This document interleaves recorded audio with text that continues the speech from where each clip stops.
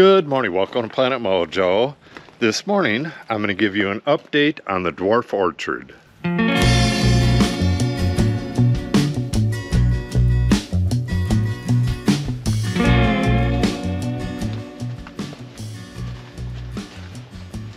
I'm glad we planted the zinnias this year.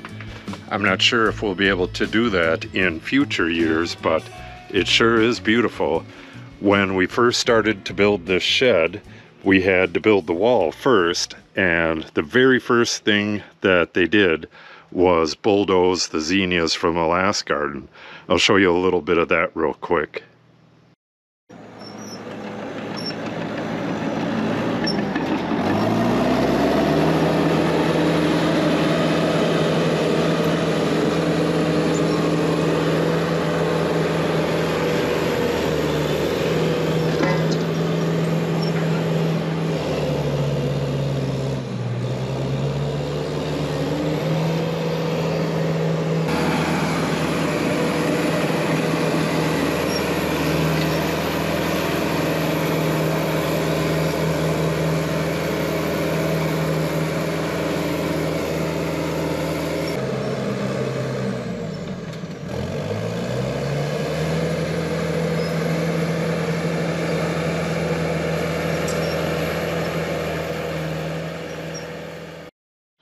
I'll show you a little bit more up in the orchard itself in just a second, but before that, I'm going to show you the plans for this year.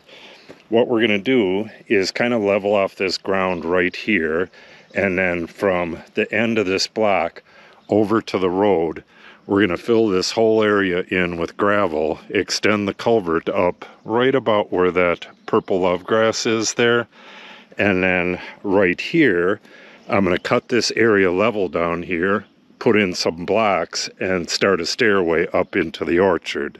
I got these blocks from town. Hopefully this is enough blocks to get that stairway in. They're all nice and flat and they're about the right height for stairs, so that shouldn't be too hard to do that. So the stairway is going to come up to right in here somewhere. Then I'll put a little retaining wall that way and then we'll have like a path going through here. Look at those zinnias. This right here is the Bing Cherry. It's looking pretty good, not looking perfect. Got a little bit of damage on it from the Japanese beetles.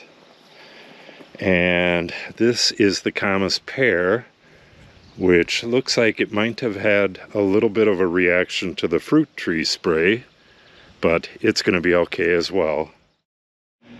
The Honeycrisp apple tree is doing just fantastic. I'm probably going to have to get in here and thin this fruit out a bit. There's just way too much fruit. These are all going to turn into huge, really delicious apples. This is where the excavator hit the tree last year. When he was backfilling all this stuff, he backed right into this and smashed that branch off. It's probably all for the better because we need room for a path through here. Yeah, look at all those apples. Got little tiny baby ones, got medium sized ones. Yeah, there's probably 200 apples on this tree.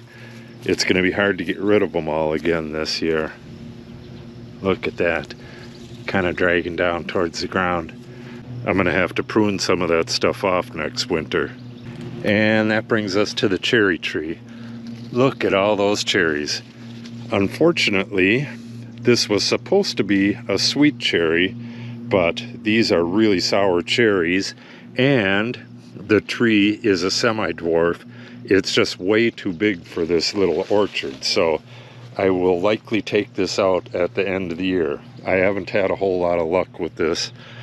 A lot of times, right as these are getting ripe, they get a really nasty fungus, but pretty much every year, as soon as they get ripe, the raccoons get in here and they'll strip the entire tree bare overnight.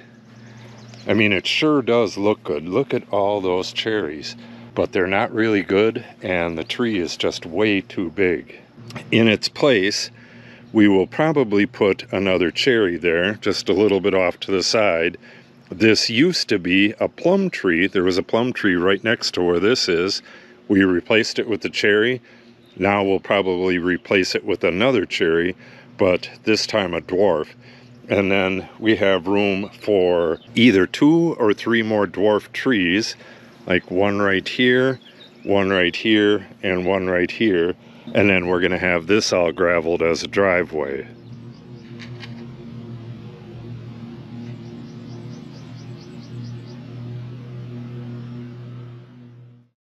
And then we have this area right here. You could see some of the stalks from last year. This had some really nice hollyhocks last year. They were burgundy color, and these are all volunteers from that. I'm not real sure how many flowers we're gonna get on this, but I needed to clean this area up. So I weeded it, got it all mulched up, and it is what it is. This area right here, I'm not exactly sure what I'm gonna do with this area. I'm going to have to dig around this. This was extended up pretty high. I don't know if this is an extension as well, but I think it is. I think this actually ends right down here.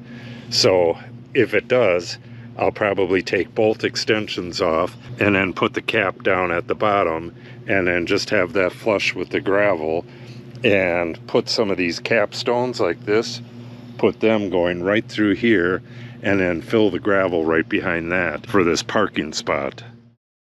And the last thing, which is kind of in the orchard, but kind of out of the orchard, this is a semi-dwarf McIntosh, and this is just a wonderful tree.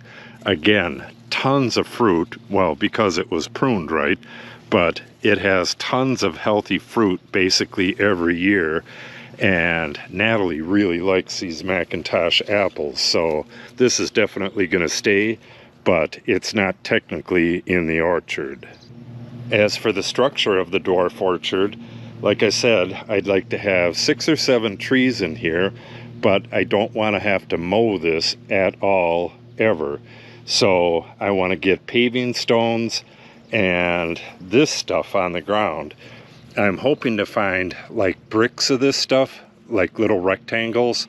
All it is is recycled rubber, and I'd like to put that down basically everywhere and then have paving stone walkways coming through here. A couple little gardens, but mostly trees. I'll give you a quick tour of the zinnias before I end this video. Look at all the Japanese beetles. They just shred everything this time of year. God, I hate those things. But the flowers look pretty damn nice. I'm not sure how many of these we'll be able to plant every year, but it would be nice if we could plant like a two foot border around the edge every year. We'll see.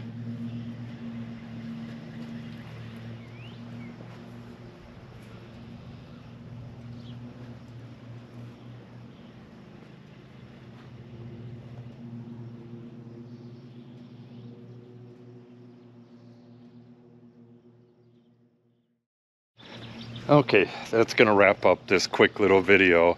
I'm going to be doing updates on all of the other little stuff that I got going here. So if you want to see that stuff, make sure you subscribe and click on the update icon. If you have any questions or comments, make sure you put them in the comment section below. And if you share the video and or give it a like, it helps the channel out greatly. Thanks for watching and have a great day.